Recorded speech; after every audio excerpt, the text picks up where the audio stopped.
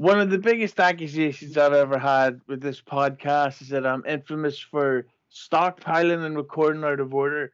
Well, anyone who says that we recorded this on March 26th is a fucking liar. this is so clearly late April, early May, and the, the reason why me and today's guest, the great Don Tony, know this is because WrestleMania just happened, and Don Tony, what about that mania, huh? I know, right? what about that AJ Styles Undertaker match? Unbelievable. Yeah, I can't believe that thing happened, but well, we'll get to that uh, later on.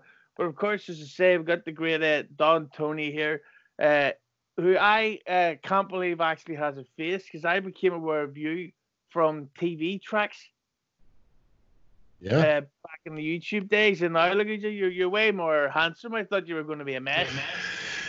Uh, you know, I'll, I'll be honest with you. You know, because of some health problems, I pretty much got scared sc- straight to really start trying to get my ass in shape and dieting. And I still got a long ways to go, but you know, over the last year, I probably dropped about sixty pounds. So, you know, there's a few reasons behind it. But hey, I tell you, you know, um, you lose a little bit at a time, and the next thing you know, a month goes by, two months, six months and uh, little pain issues start to go away. You start to feel a little better. Even um, when my doorbell rings, like I could jump out of bed and just run to the door. And in the past, I'd be like, you know, whoa, you know, things, uh, you know, can't go as fast. So, you know, it's it's a little at a time, but uh, I'm pretty happy so far how things are going.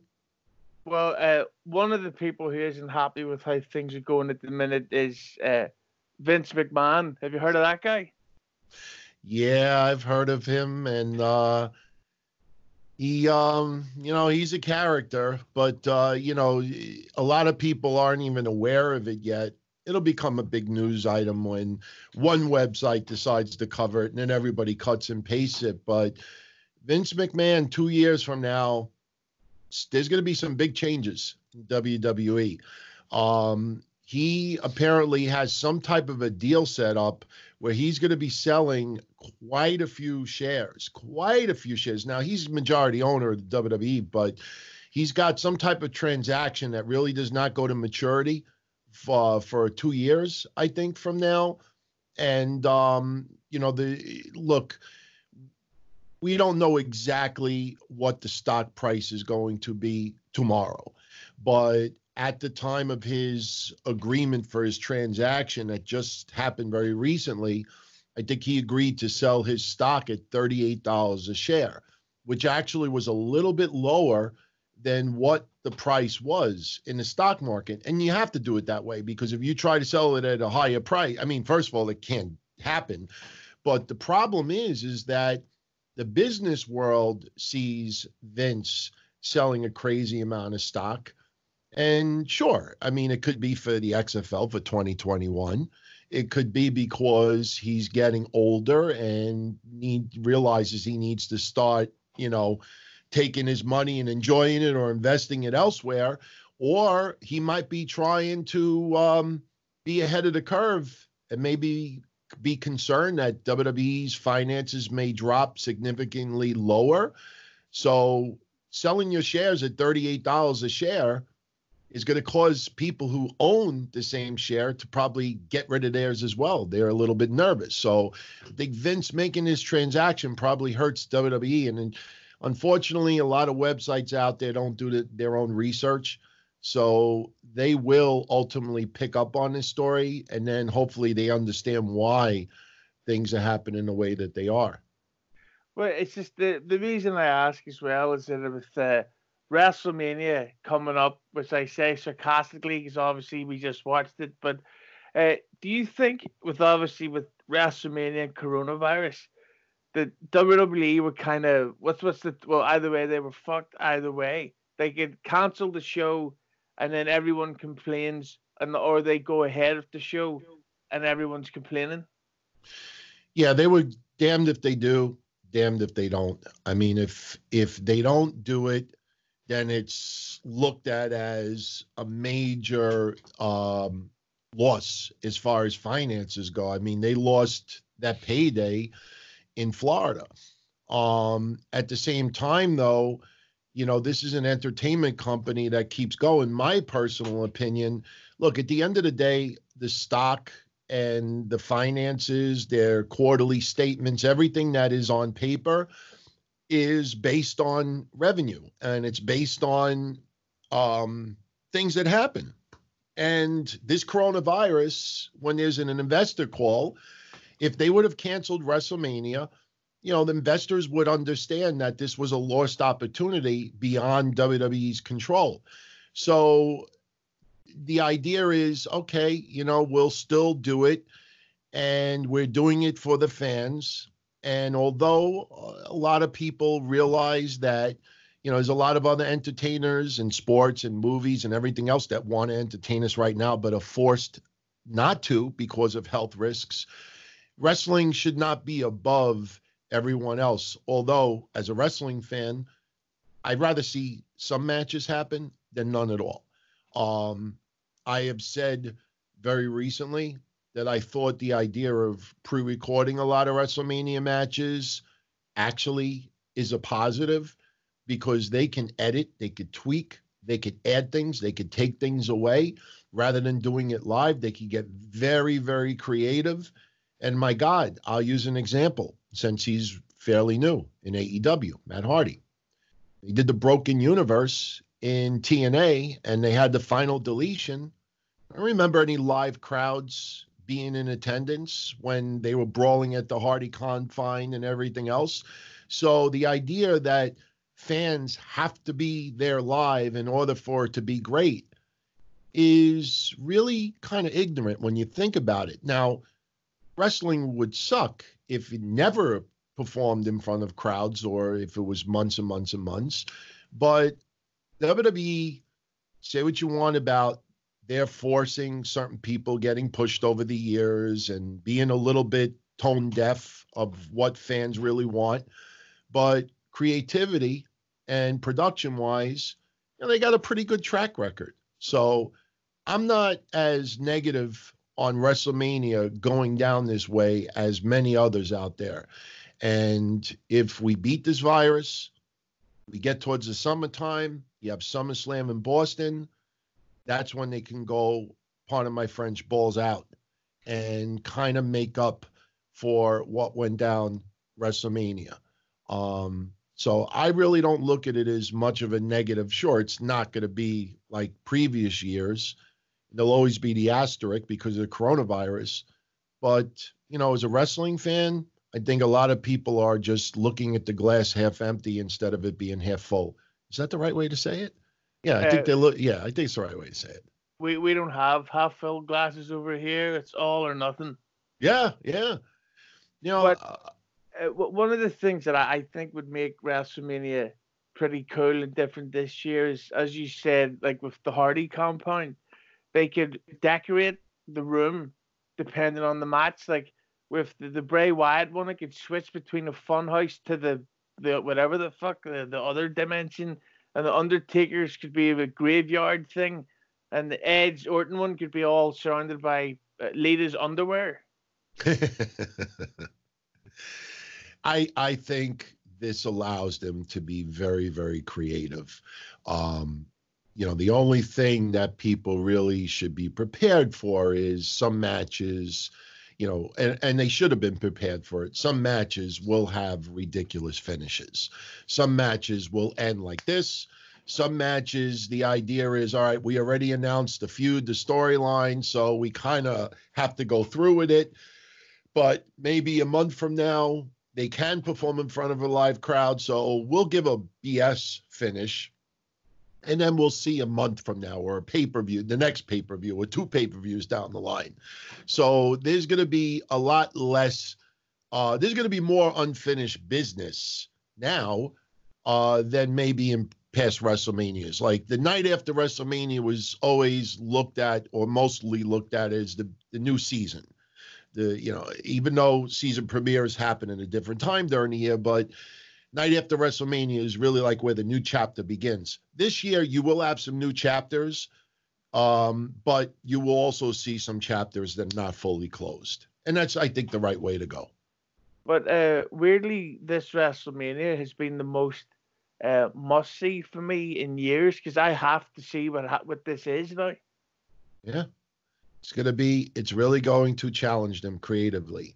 Um, look, there's a lot of ways it could go. It could be entertaining, like I said, final deletion, or it could end up being something like Randy Orton and Bray Wyatt in that house that they brawled at that time. I mean, you know, that was kind of bad. I mean, you know, there's, it, it, I, I think overall, you know, the wrestlers are pretty damn good performers also. A lot of them, part of my language, a lot of them do have the capability of turning chicken shit into chicken salad. So even though the writing might be a little bit subpar at times, it's the wrestler's job right now to really step it up and take something that may not be the perfect mold and try to get it as perfect as possible. Um, I love the the fact that they can edit and re do something. I know it's, you know, wrestling when you see it live, you know, you want to see it raw, pun intended, and you want to see it in its original product.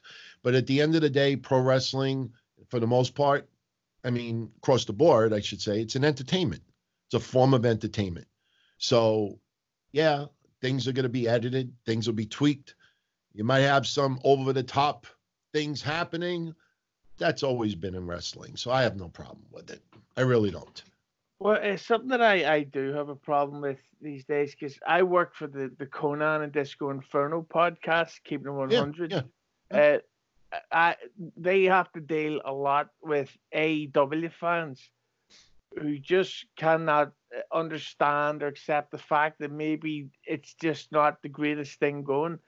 But uh, one of the things that I was found weird today just refuse to accept or understand is that AEW is not all that successful.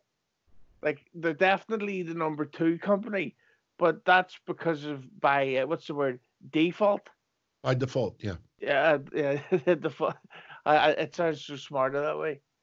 But uh, see, I don't mean to interrupt you, but see, I'm one of the rare people that enjoys both, and I will criticize both. I burn bridges that way too, whatever.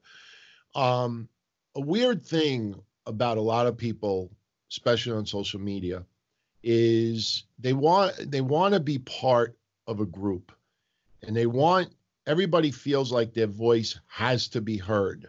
And if you stay on the sidelines and you don't speak out and you don't get very animated and you don't get very vocal then you're less of a fan or people don't pay attention to you.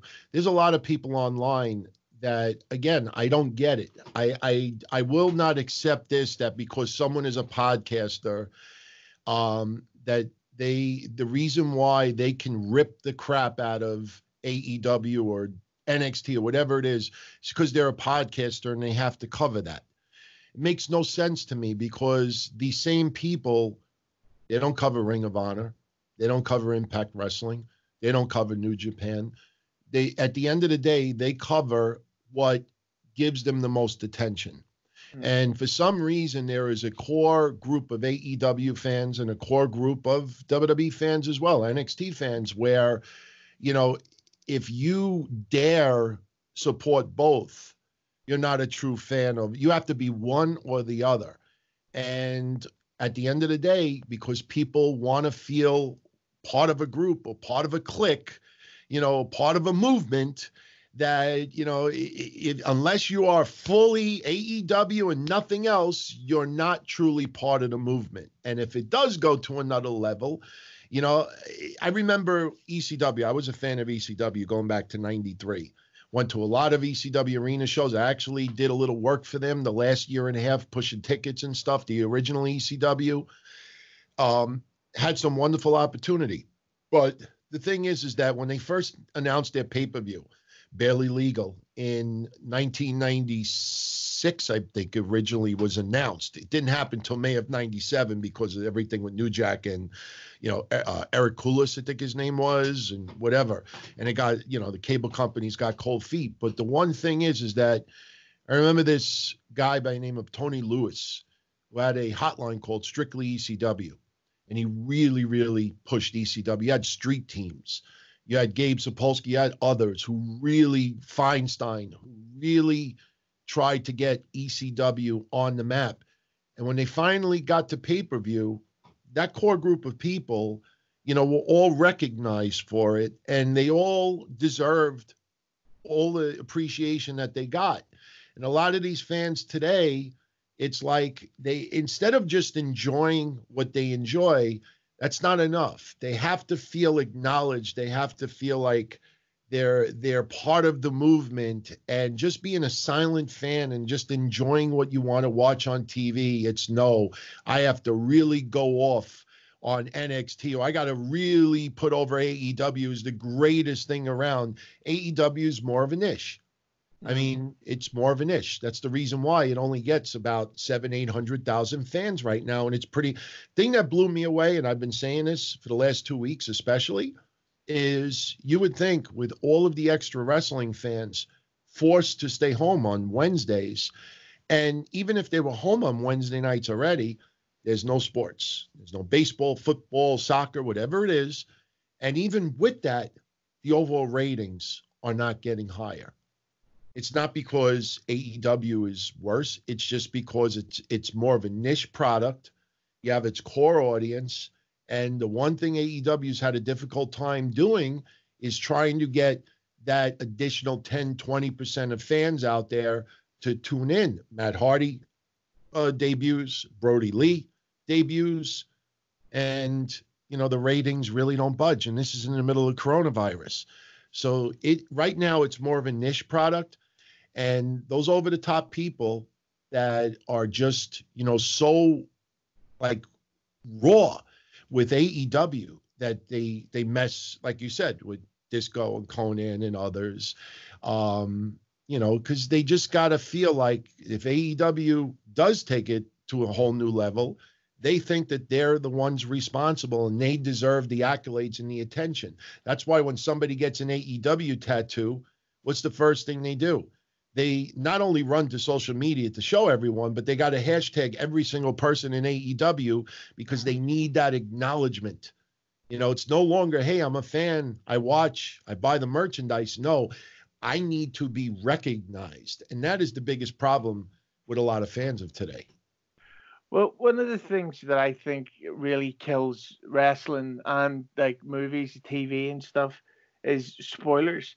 Uh, when when Dave Meltzer, that fucking guy, gets a spoiler for WWE, he can't wait to print it like, ah, uh, Owen Hart's not actually dead. Uh, he's coming back to fucking wrestle Killer Kross, all this shit.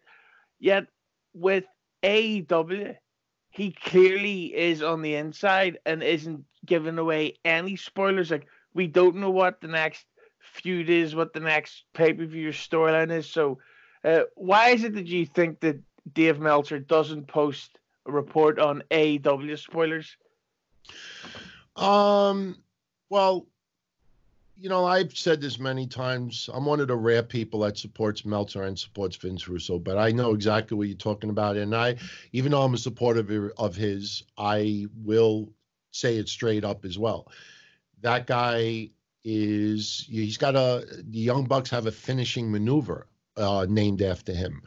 He has always been a major fan of Japanese wrestling. He has been a fan of the Young Bucks, Omega, and others for a very long time. And basically, a lot of people in WWE, especially over the years, WCW as well at the time, uh, they always, not everybody, but they, are, but a, a, large contingency, uh, always disliked Dave Meltzer you write a newsletter and you could get 90% of the stuff accurately. And I'm not defending him right now, but I'm just making a point. He'll get 90% of the stuff accurate, but the 10% that he may get wrong, that's what they hold on to for years and years and years. You know, just look at the third man for the NWO and you'll know exactly what I'm talking about. I mean, they, that guy, it, it, when he dies, I think his eulogy will be like the man who claimed viscera. The point is, is that Meltzer does not hide his um, fandomhood for J- Japanese wrestling or AEW. And the thing is, is that he's become very biased. He's always been, always had favoritism for Japanese wrestling. That goes back decades, but he is very biased towards AEW. And look, you know, and again, I'm not sticking up for him. I'm just basically trying to explain how I interpret it. And this is just for someone looking outside. I look at Mike Johnson, who's on PW Insider. That guy so badly wanted to be in the back pocket of MLW many, many years ago, or Ring of Honor many, many years ago, that those feds would get front page, first page, would always get crazy amounts of news. And when you had all these other indie feds, because I was involved with some of these indie feds, trying to get just a little bit of publicity, you know, you would get buried, ignored, and this, this, and that. And, you know, you know where your bread is buttered. And for AEW, getting scoops, getting the inside information, getting reports, you know, if you're not in the good graces with them, you know, you're not going to get coverage. So when you have Meltzer, who is got the good graces of AEW, and he is a huge fan of the product, that bias comes out more and more. Um, the thing is, you know, his newsletter I don't think is as big as what it used to be. I was a subscriber for a very long time, but I think what a lot of people I, I confuse me is Dave Meltzer, nobody forces anybody to pay attention to him. Nobody forces anyone to read his newsletter. He wants a rate a match six stars. Why does it anger people so much? You know, if if people out there think that he's ridiculous and and he's so biased, ignore the guy. You know, I look at the torch, Bruce Mitchell, you know, Wade Keller. I don't pay any mind to them. I, I don't know what they're biased for or not, but they I never liked their work. I have other reasons too, but I just don't pay attention to them. One thing I'll say about Meltzer is again, he doesn't hide how his bias, but I don't understand why so many people are so angered with the guy. There are many other people that they could follow in place of him I personally think when it comes to podcasts and websites, they are just, and again, I'm not defending him. I'm just giving my opinion why I think it is the way it is. Um, I think a lot of people are extremely jealous that there's a wrestling move named after him, that he gets inside info in AEW, that he it's just it just comes off as a jealousy because if it wasn't a jealousy, why pay attention to him? Okay, he rated the Young Bucks, Omega, and Page six stars. Um, it was an excellent match. Is it the greatest match of all time? No. But for him, six stars. Okay. That's his bias coming out. That's him, you know, giving a little extra care for something that he is a huge fan of. There are tons of ECW matches back in the day that are some of my favorite matches of all time, and I've played it to other, for other people, and they said that's garbage.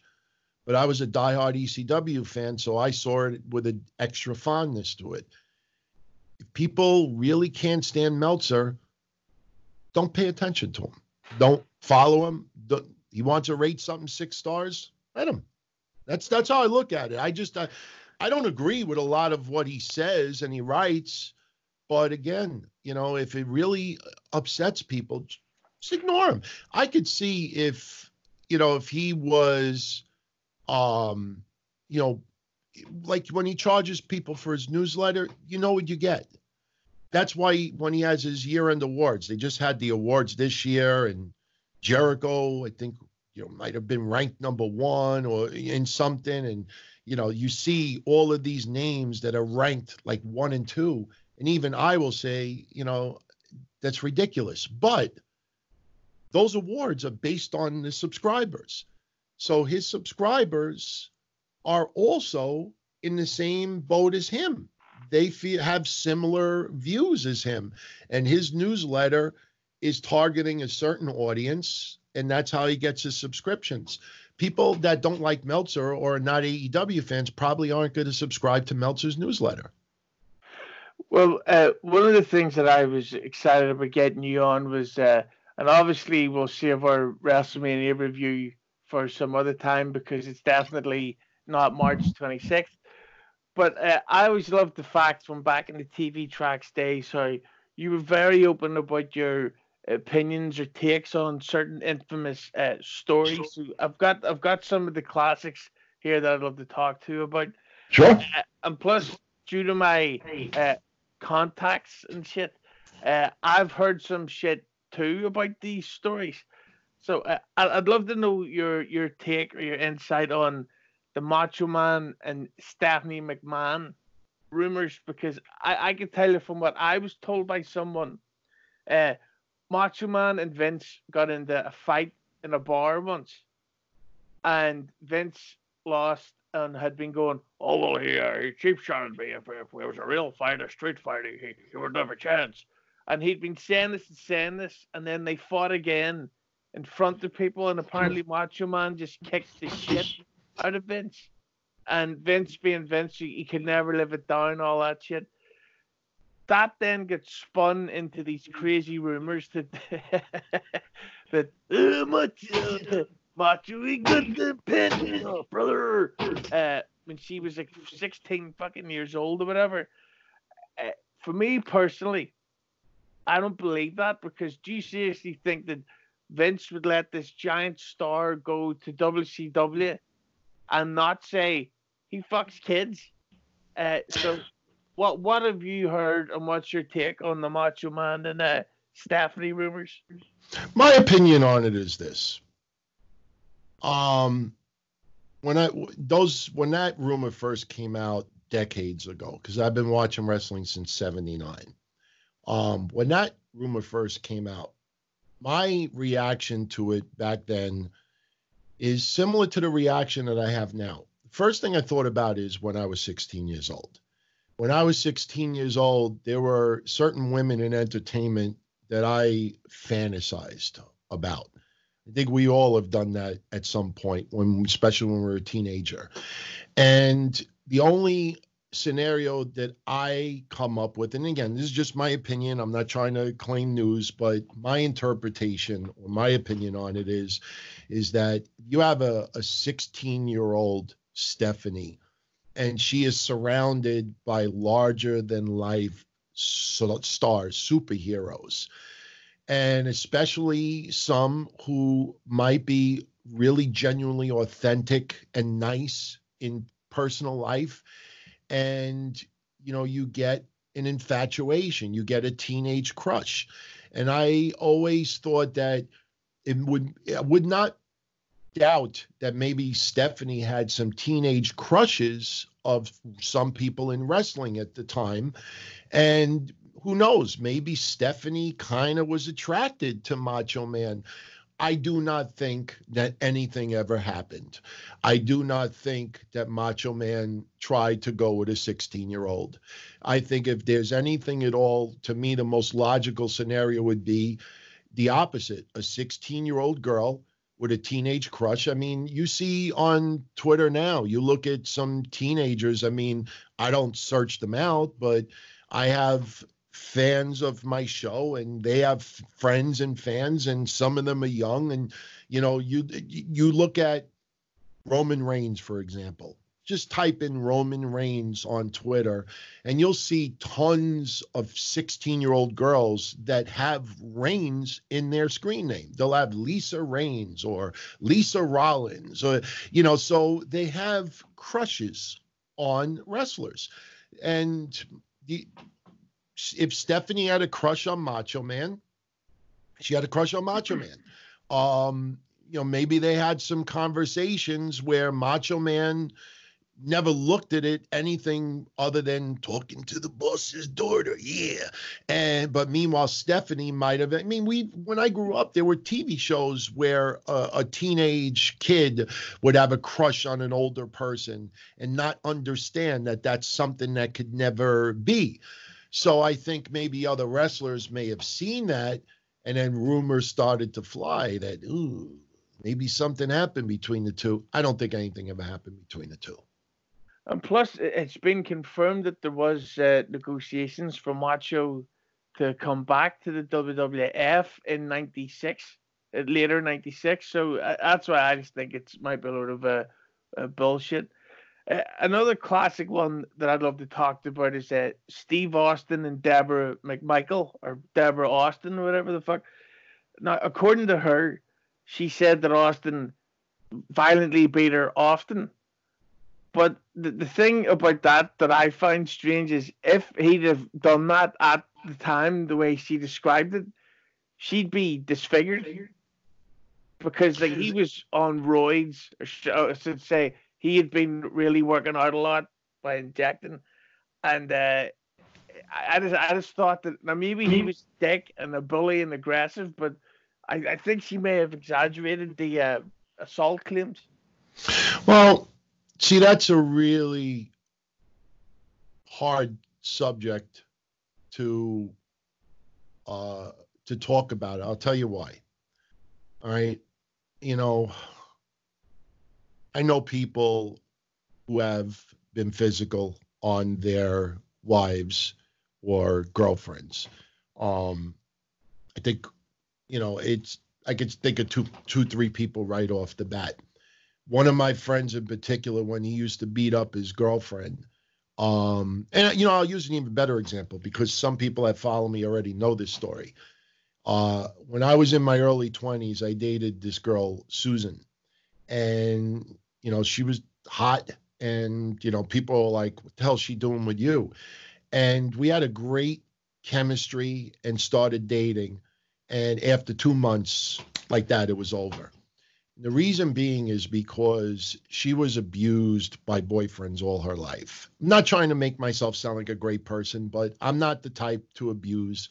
Um, number one, I always felt no one is worth getting arrested over like that, so I don't abuse. Um, but the thing is, is that she had when we had this talk and she was telling me about this ex-boyfriend that used to beat the shit out of her all the time and she showed me a picture of this guy. This guy was like if you remember D-Von Dudley when he was really jacked up in TNA yeah. I mean if you just instead of him being black it's an Italian guy this guy was like this and this girl Susan I dated was probably 110 pounds. This guy with one shot could break her jaw and totally disfigure her also. But he never did. And the thing is, is that, you know, I don't base someone's size or their muscular tone or steroids or not steroids, you know, defining how much abuse they put on someone. Um, I will say this, and this is pretty well known. Um, Steve Austin had dated someone by the name of Tess Broussard. And I don't remember if they were engaged or not, but um, I'm still actually friends with her to this day. And I have talked, I haven't talked to her recently, but we used to have a lot of conversations off of the show. And I had interviewed her probably, my God, it must have been about 15 years ago, 12 years ago. And she made some really outrageous claims towards Steve Austin. And believe it or not, about two years ago, some website out there that was trying to rehash like old stuff to try to clickbait, they brought up how Vince talked about something like with his cousin or something like that. And it was a Playboy interview from like 2001. They were trying to report it as news right now. But the thing with Tess Broussard is she made some pretty wild accusations against Steve Austin. And because I was friendly with her also, you know, when I did the interview with her, you know, I basically talked not as an interviewer, but as a guy.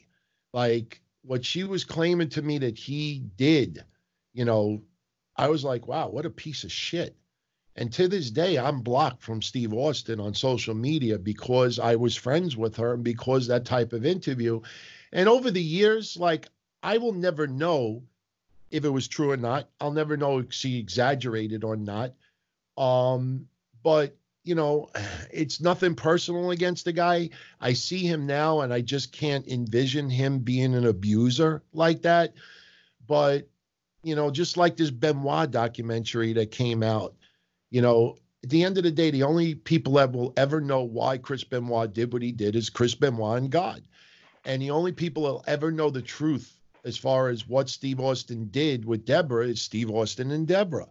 So, you know, I I just you you never know. You never know. And um it just it sucks to be in a position like that of abuse and I have had some people over the years that came off as the nicest people in the world who we found out were abusers. I'm not talking about anybody in wrestling, I'm just talking in private life. And some people that you would never ever in a million years could hurt a fly, you find out has been just doing just crazy abuse on people. And it's not always just physical, it's mental as well. So I honestly don't know as far as what he did and didn't do um, you know, I I just, you know, it's it's a bad situation to be in. It really is. But I will say this. We have heard zero about Steve Austin and abuse forever. So if if there was issues at the time, um, give the man credit that there have been no issues. I haven't heard one iota of anything like that for God, what is it? It's got to be 15, 16 years, 2002. Yeah. When I interviewed, I think it was 2003 or 2004. So it's been about 15 years.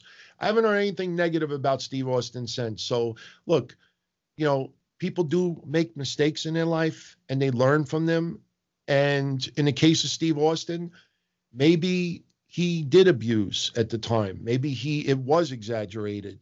But even if it did happen at that time, I always feel that people can grow and redeem themselves and improve. And the guy has done nothing negative, in my opinion, in the last 15 years of anything with abuse. So I have to go with what, you know, I I see. I don't know him personally, but you know, at the time it felt a little bit overblown. It felt a little bit exaggerated. And I agree with you. You, know, you could just knocked her out, you know, broke all the teeth in one shot. You know, but you know, once I became friendly with Tess and uh, you know, and she started saying some of the things, then you start thinking, hey, maybe it is true. But I give the guy credit for, you know, really no signs of anything like that in well over a decade. So, well, uh, one of the benefits of this coronavirus thing uh, for me is that uh, I'm getting to spend a lot more time in the house. Uh, only problem is my lunch breaks are now four to five hours long instead of the 30 I usually get. uh, I've been binging a lot of older WC or later WCW stuff that I missed out on. Uh, and I've, I've really become a total mark for Scott Steiner. I think there was during 2000 he was maybe one of the best in the world. Uh, but the, the, big match the WCW never gave us was Scott Steiner versus Hulk Hogan. so, uh, have you ever had heard any stories of why that feud never happened? Because just to be a a, a dick, a, a dick, I call myself that. Uh, I personally at a meet and greet witnessed uh, Scott Steiner talk about how Russo was going to do a storyline with them that was going to last four pay per views, and then literally within 15 minutes before going on air, the whole thing was dropped. Uh, so uh, that's what he said. Might be a load of shit, but uh, I was wondering, have you ever heard any rumors or theories as to why Steiner versus Hogan never happened? Well, I think timing had a lot to do with it as well. When Hogan turned heel and joined the NWO in 1996, um, you know, Scott Steiner was still Steiner Brothers, still babyface. And you had Steiners feuding a little bit with Hall and Nash.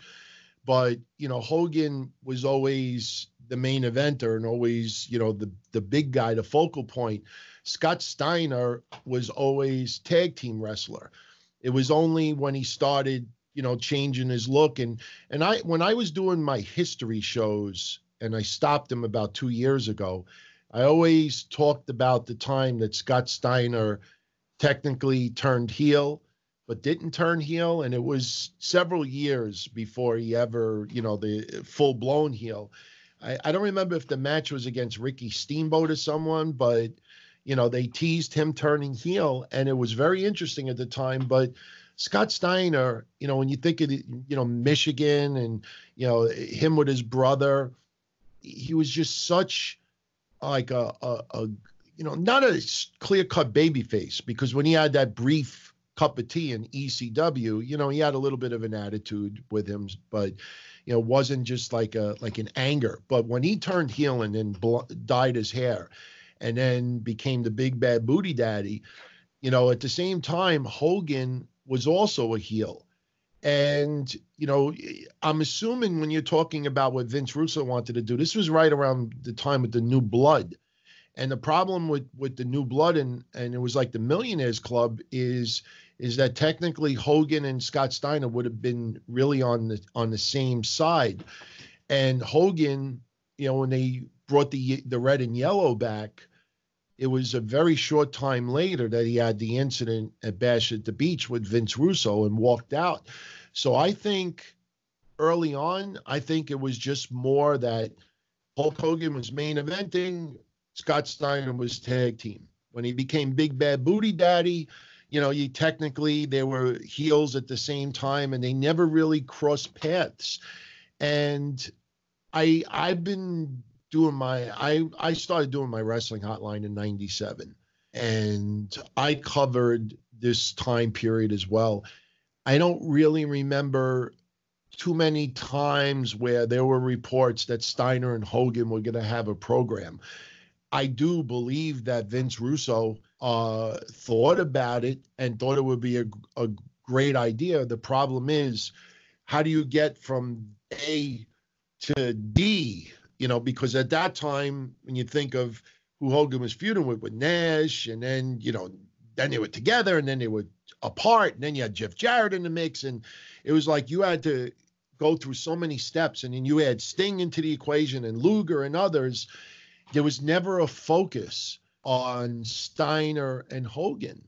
And, you know, it's I think it was just if if Hogan didn't have the incident with Vince Russo, I think that could have happened. I think that down the line would have happened.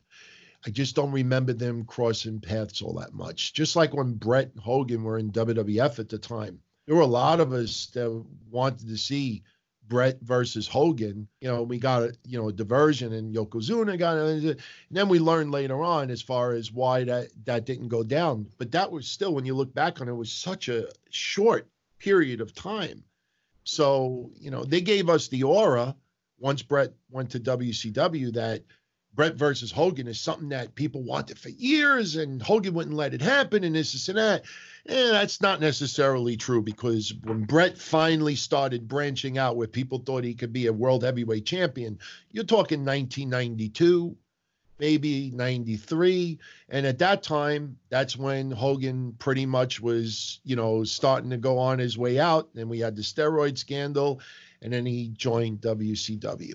So, you know, you, you, people need when they t- look back on that, they got to look at the time frame. And when you realize that it's so small, and there was so much pressure because of the attitude here with WWF and them really getting momentum, you know, to get from here to here by having Hogan versus Steiner, that's not something that many people talked about at the time. Uh, well, just as we're wrapping up, we're coming up to the final three topics here. Uh, when I when I first started this podcast, I was emailing everyone. I had like fucking maybe eight, 12 listeners. I had like hundred subscribers on YouTube. Uh, Bruce Prichard was one of the first people that said yes, which I couldn't believe or understand why he did it. Uh, in the process of doing that interview, I asked him about the infamous WrestleMania 9 rumors about the, the, the original planned card he said no, that that wasn't true. Then on the WrestleMania 9 episode of his own show, he said, oh, a lot of those were true. And I was like, what the fuck? And even recently on his podcast, he's contradicting stuff that he said about the same subject on separate episodes. One in particular, give one example. Uh, from WrestleMania 9? Yeah. Well, he I had heard that the original plan was to do the uh, real American hero gimmick with Scott Steiner. And Scott Steiner was supposed to win the Royal Rumble to wrestle Bret Hart. Uh, and he told me, he goes, No, that, that wasn't the plan. That wasn't the plan at all. But then on the show, on, on something to wrestle with, he said exactly that. And it's like, You fucking liar. Who'd you like? so uh, the, the question I've got for you is Bruce Prichard, while I'm very grateful for the interview, uh, is he full of shit? I'll be honest with you. I am a huge Bruce Prichard fan. But even with that said, um, you know, look, I don't have many connections in wrestling. I have a few friends over the years, some people that I would never make public. You know, I cherish that friendships. And although tempting sometimes to just throw it in people's faces, I keep it private and always will. Um, but I'll say this one thing that I have learned over the years, whether it's Prichard or Bischoff or even Vince Russo, Vince Russo, um, I'm a subscriber of all his stuff. I've been a fan of his since day one. I've never left that bandwagon. Um, you know, Konnan, I mean, people already know my history with him with there. Not going to bring that up. My point is, is that if you listen to all of these guys enough over the years, one one day they'll tell you the sky is blue, and then down the line they'll say the sky is actually gray. And in wrestling, there's always discussions about, hey, what do you think about this? Hey, let's try this, or hey, what about this? Or hey, could you think of this? And um, you know, not not all of it ever comes to fruition. I think the problem is is you know there's so many things discussed that as far as Steiner and Bret Hart with the Royal Rumble, I don't ever recall ever hearing those rumblings. I don't even remember ever even reading something like that in Meltzer's newsletter at the time. But that could have been something discussed and then quickly shot down. So you know, maybe, and you got to understand something too. Over the years, and I'm not defending these guys, but over the years, you do forget things from here. Here, so at the time, because Steiner and Bret Hart never really was something serious, he probably was telling you the truth when he said, "Nah, it was never in the plans." But then later on, maybe he recalls a conversation with somebody in creative about, you know, hey, what, what about the idea of having Steiner win this? I don't ever recall Scott Steiner, and I was WWF fan at the time. I don't ever recall Scott Steiner ever getting any type of momentum where he could possibly win the Royal Rumble. Even when me and my friends would just, you know, talk to each other and say, "Who do you think's going to win?" Who's that? I don't ever recall anybody ever saying, you know, Scott Steiner, he's on that momentum. That guy, he, you know, he could win the run. it just was never in the cards. So I think sometimes they immediately don't remember something and then it'll hit them. Um, but I also think too that because Vince and Jim Ross and others never come out publicly and say that's not true, that's not true, you're full of shit, this, is and that. I think you know, if sometimes they will twist and change and this and that, especially years later, if an, if an idea sounds like it would have been wonderful, you know, somebody may years later say, yeah, you know, we actually thought about doing that. And that's simply because you got a whole bunch of people who are listening or watching your show. Not you, I'm saying, but them. And they're like, oh my God, that was so smart. Oh, could you imagine what that would have been? And that just sparks a whole new discussion and conversation. Meanwhile, they're talking right out of their ass. Um, a lot of stuff that is said and, and it becomes urban legend. A lot of stuff people talk out of their ass. Unfortunately, it happens more and more when people are deceased because unfortunately the dead cannot come back to life to tell that say that somebody's full of shit. But anybody who is exaggerated like that none of them do it with any type of malice.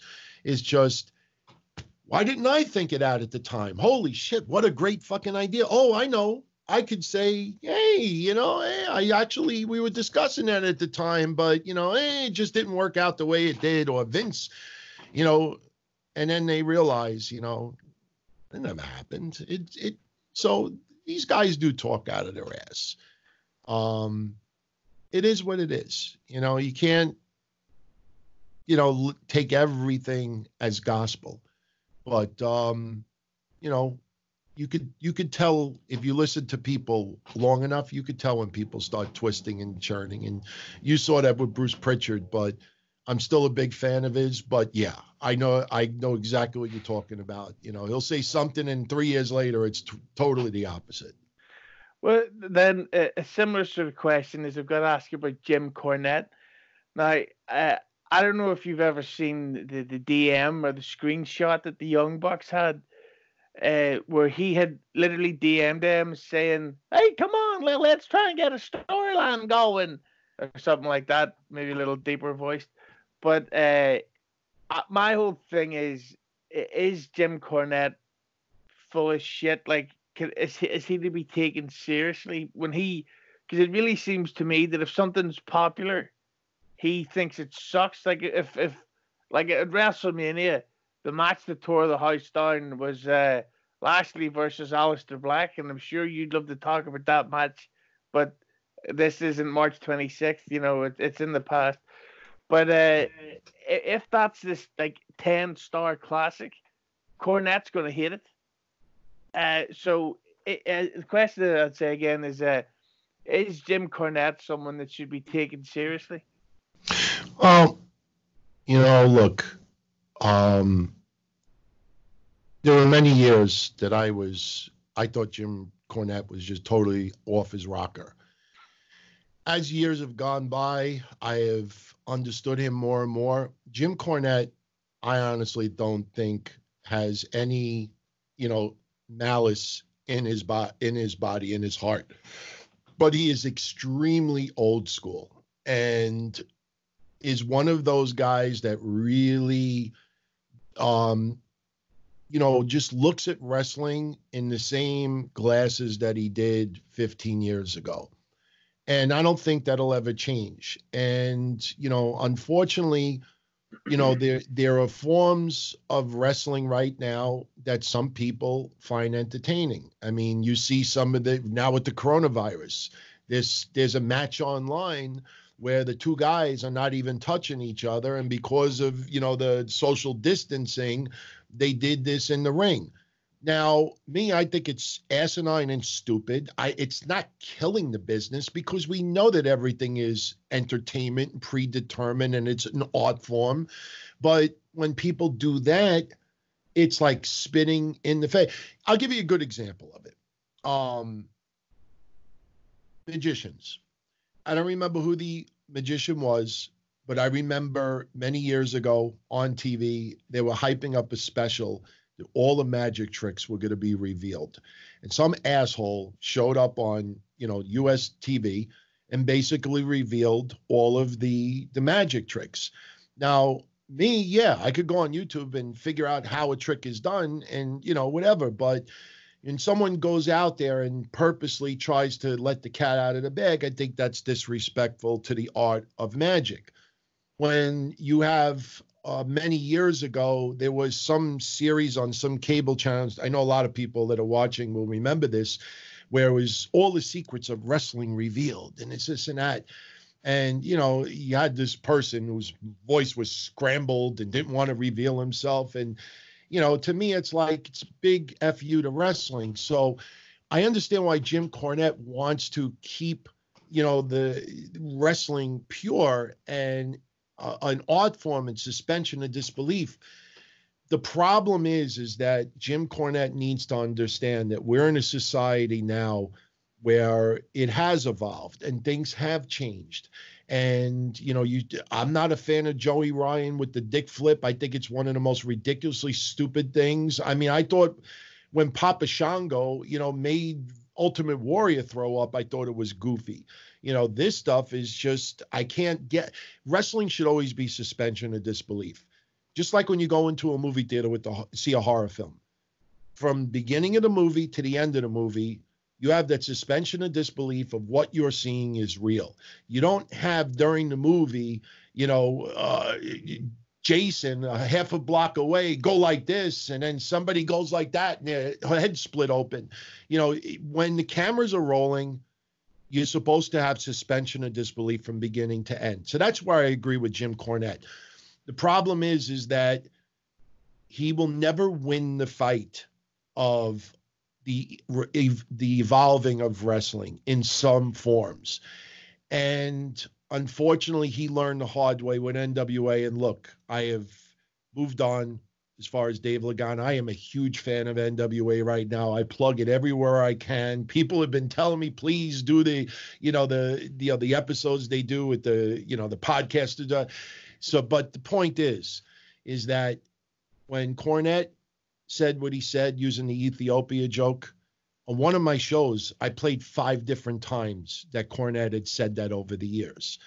And the thing is, is that in Cornette's heart, it was not racist. It was not, it was just a bad joke that is outdated and stupid. But when you are, when the cameras are rolling, Jim Cornette, his mind goes old school. So you think of jokes, you think of one liners, you think of things that worked in the past and I'll be quick with this, but when he talked about Trevor Murdoch and he talks about having a bucket of fried chicken and this and that, in 2020, 2019, people will think that is the most offensive thing out there, even though in Jim Cornette's heart, it's not meant that way. It's meant that he's such a tough guy that if he went through Ethiopia, you know, and there's people are starving and need food and this, this, and that, you know, if you want to use it now, if Jim Cornette was doing doing commentary, he could say Trevor Murdoch is so tough that he could ride around the streets of New York City with a gallon of hand sanitizer on his back, and da, da, da, da, and it would have had the same result. That's not race, but it's interpreted that way. And the problem why I brought up NWA is is that for weeks and weeks and weeks and weeks and weeks, whoever produces the TV, whoever puts the episodes online, you know, Dave Lagana and others, they heard it. They saw what Jim Cornette said, and it made past all of these people. And when people got really upset about it online, you know, in my opinion, NWA threw Jim Cornette under the bus instead of taking a little bit of responsibility as well and saying, look, you know, Jim, you know, it's an outdated joke. It wasn't meant to be racist, this and that. You know, they just like really distanced themselves. So Jim Cornette has a lot of bitterness for what's going on today. I have a lot of bitterness for what's going on today. Joey Styles is a perfect example. It pisses me off to this day that Joey Styles is not on AEW or some type of wrestling promotion on TV. That guy is an awesome commentator. And because he made a dumb joke at the time, because that was the controversy with Trump saying you grabbed him by the pussy, Joey Styles doesn't have an ounce of hatred towards women in his body. He's pretty much been banned by wrestling. And it's not because the wrestling community is so in an uproar over Joey Styles. It's just that people out there are so afraid to speak out for themselves that if one promotion comes up and says we're going to bring Joey Styles in, they're afraid that all of these people on social media put this company out of business, put this out of business. So Jim Cornette has a lot of animosity because of what is wrestling in some ways have become today.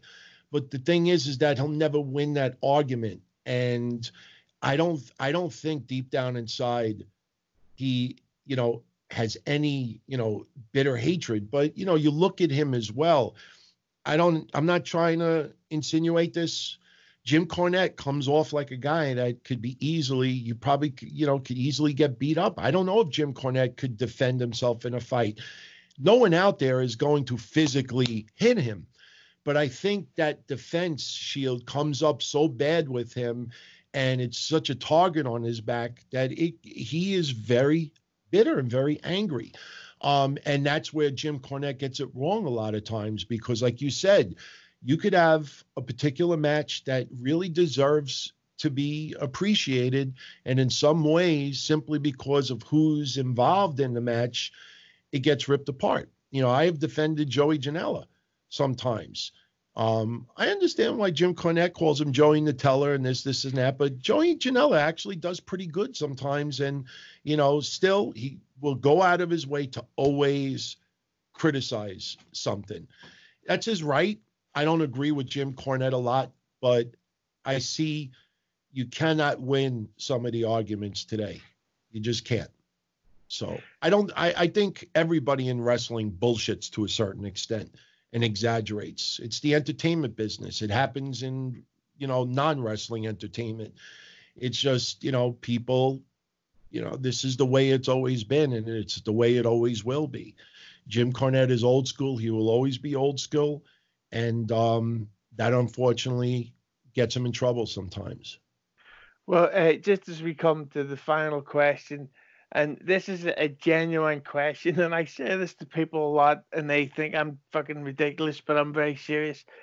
Uh, as I've mentioned, I, I work for Disco Inferno, and, and I just your your app the, the episode I did with him will be out the week before this.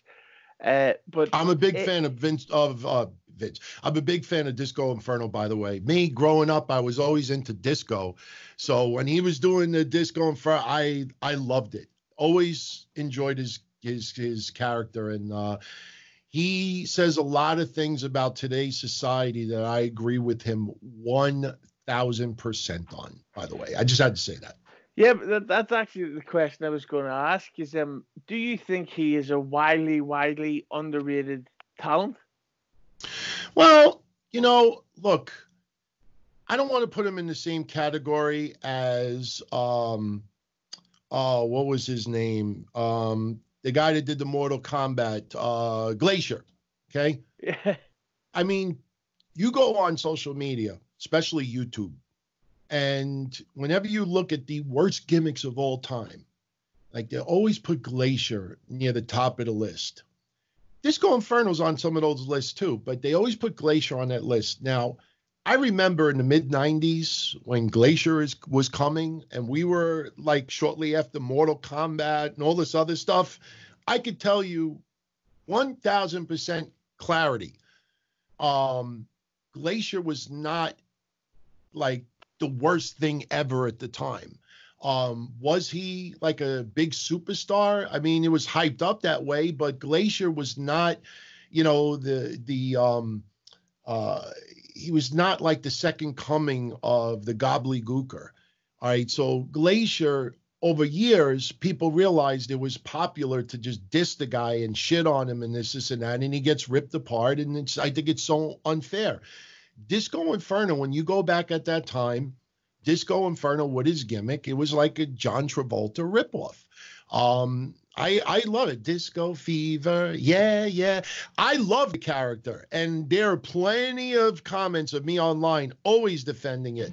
Um, Disco Inferno was on the level of like Alex Wright and others at the time uh, wasn't going to be in the you know in the uh, main event or semi main event, but and that was that was fine. Not everybody you know has to. Today's day and age, you know, everybody gets a trophy, everybody gets an opportunity. It's my, I mean, I don't want to name any particular names, Dana Brooke, but um, you know, you, oh, it's my time. It's I I earned this. It's my time. It's my time. It's my time. You get no fucking reaction after a couple of years you may be a nice person and you may have some ability, but unfortunately, you never made that connection. And no, you may think it's your time, but it's not your time. Um, at that time, you know, it, it, was never Disco Inferno's time to be a main eventer. He was part of the NWO for a little while, but he knew his role and he did a great job with it. And his role was never to have five star matches. His role early on was to be, you know, an annoying, disco John Travolta who's doing his moves and this, this, and that, and you know, and but have some in-ring ability. And there was nothing wrong with that. In today's day and age, if Disco Inferno was around now at 25 years old, you know, he would get buried. You know, at that time, it, it was tolerated. And, you know, I always liked the character. It was meant to be annoying. Um, when he teamed up with Alex Wright, it was actually a lot of fun. But you know, even now when he does some appearances in Impact Wrestling or or other work that he does, you know, it's not overly done, and the guy could still go. The guy is very outspoken with his views about the world, and I will always give him a hell of a lot of credit for speaking his mind. I mean, some of his opinions, we won't get into them now, but some of his opinions are very unpopular, you know, but he speaks his mind and he sticks to it. And, you know, you got to respect that. So I always, I was always a fan of the character. Hell, the reason why I have some of this stuff the way it is is because, you know, growing up, you know, I was always into dance music and disco and house music and techno and stuff like that. So it kind of reflects on me a little bit to this day. But unfortunately, people just overanalyze everything on social media because, again, you know, everybody needs to be heard. Everybody has this almost heroin obsession of getting recognized. That's why there are 50,000 top 10 lists of people who weren't even, uh, you know, even sperm eggs at the time. You know, no, you did not, you were not a wrestling fan or even alive during the mid 90s. So you don't understand this person or this character or this is that. You look back on it and think it's god awful. I'll never forget when I first started getting into going branching over from hotlines to podcasting in like 04, I think it was.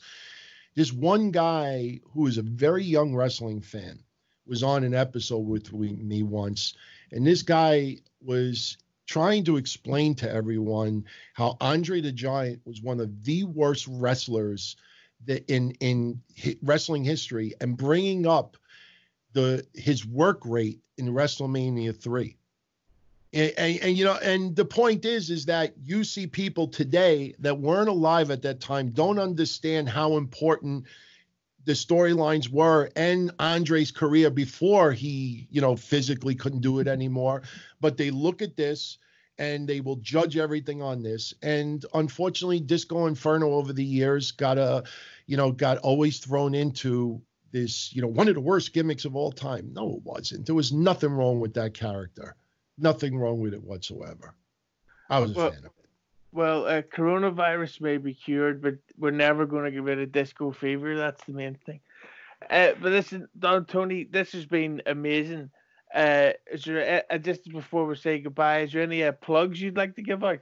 Well, I got DonTony.com, and um, you know, I go. I started doing my wrestling hotline in 1997, and after 22 years of doing just audio only work, um, I started doing video about a little over two months ago and I just absolutely love it. Go to my YouTube channel. It's youtube.com slash Don Tony.